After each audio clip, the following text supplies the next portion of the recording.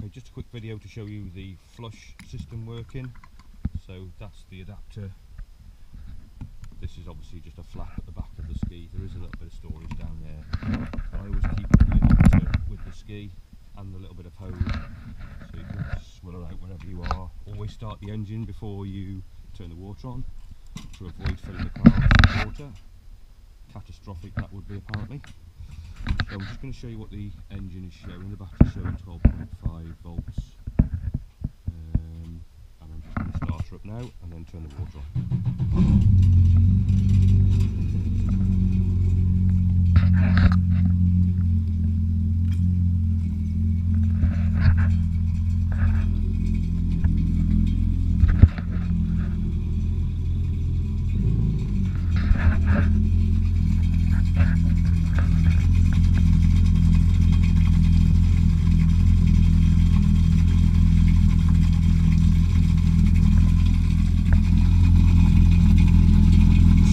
I've only undone the stern, once.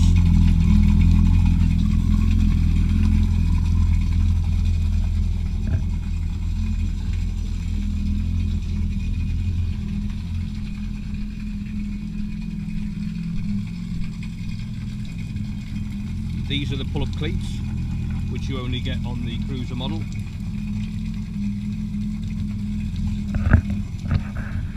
There's obviously your water cup holder and your uh, GoPro mount.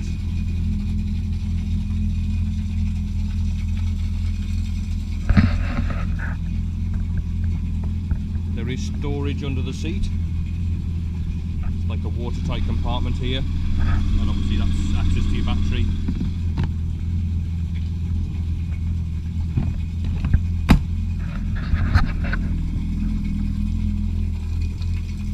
Takes a few minutes for the water to come out of the um, of this outlet or it might be because I'm leaning on a bank but she does come out.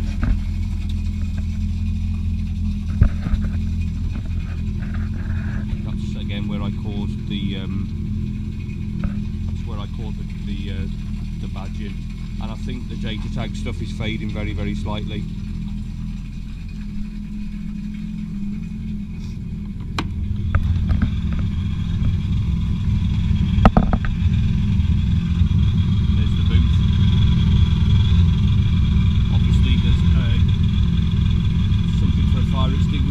for the American market.